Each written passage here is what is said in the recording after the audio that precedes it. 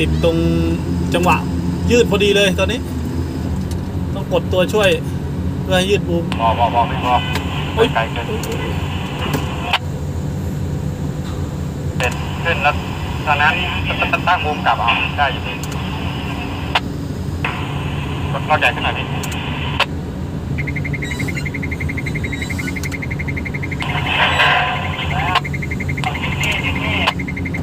ครับเดี๋ยวเดี๋ยวเดี๋ยวออกแล้วแล้วครับออกมาแล้ว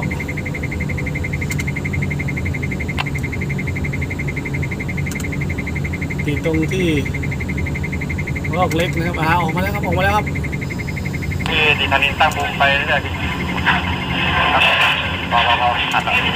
หัดแล้วพอพอพอพอพอพอพอพอพี่อก่อนเดี๋ยวผมเอาเช็ดเปลี่ย ทำแรงก็จะไปโดน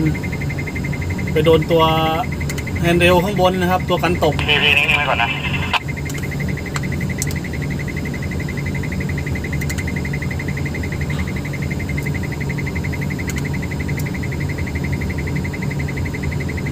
มาลุ้นช่วยกันครับว่ามันจะมันจะออกได้ไหม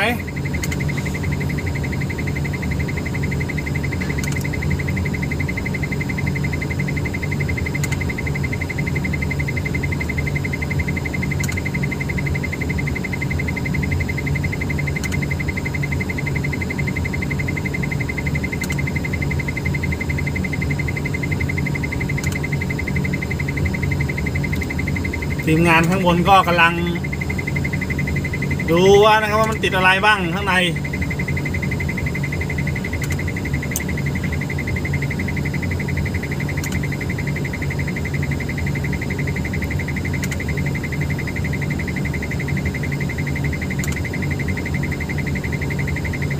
ตอนเอาเข้าก็เอาเข้าแบบนี้นะครับ เขาก็จะมารอดึงเข้าไป ตอนออกก็ต้องออกแบบนี้แหละ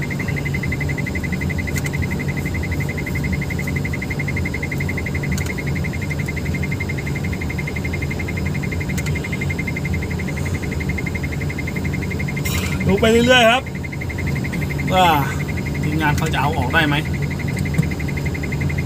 แต่ว่าฝั่งนู้นนะฝั่งกันนู้นอะ เมื่อเช้านี้เอาออกไปแล้วสองตัว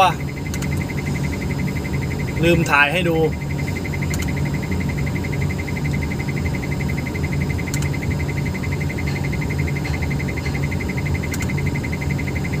ไอ้ที่ร้องนี่ไม่ใช่นะครับ คือโรคใหญ่นะครับ มันไปชนกับตัว เซฟตี้นะครับ เสียงก็จะดัง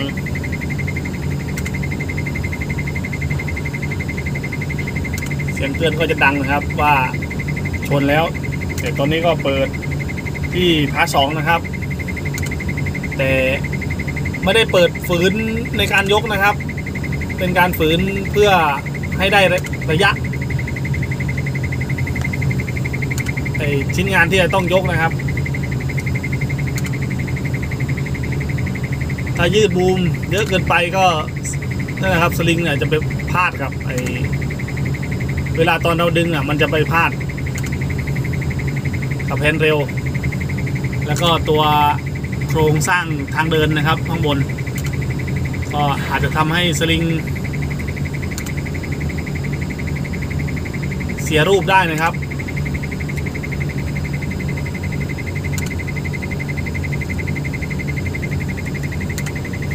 ก็มี FC ถามมานะครับว่า สลิงที่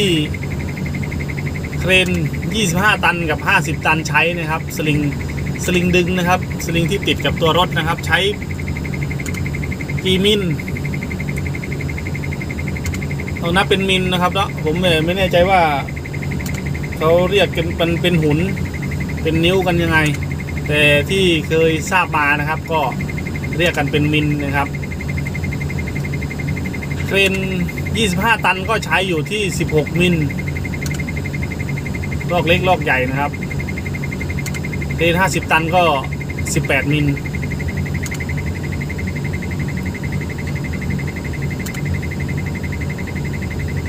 เล่นเบสรอบเล็กขึ้นนะครับพี่ธานินพี่ธานินเบสรอบเล็กขึ้นหน่อยพอพอพอโอ้ผมตอนนั้นพอกดกำลังก่อน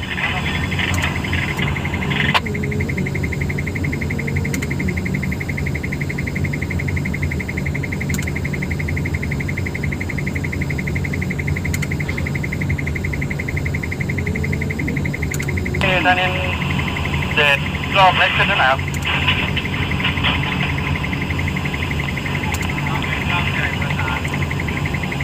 นี่ตอนนี้เบสรอบใหญ่ขึ้นหน่อยมันมีค่าเท่ากันอะนี่อันนี้เข้าไปหน่อยนี่เข้าไปเลยมันมีค่าเท่ากันตอนเนี้ยคือรอกเล็ก มันมัดอยู่ข้างล่างกับรอกใหญ่ตัวทรงเดียวกันเลยใช้อะไรไม่ได้แล้วตอนเนี้ย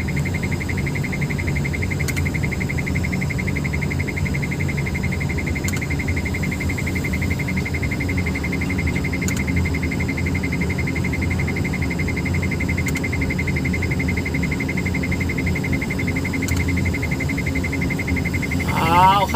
เรียบร้อย ออกมาอย่างง่ายได้ถือว่าไม่ติดขัดอะไรนะครับ เป็นอันว่า รอกใหญ่นะครับ ประคองตัวประคอง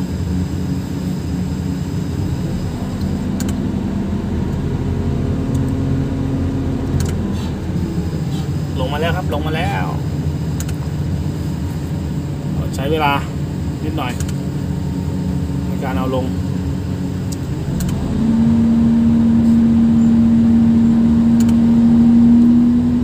จะมีอีกตัวหนึ่งนะครับครับ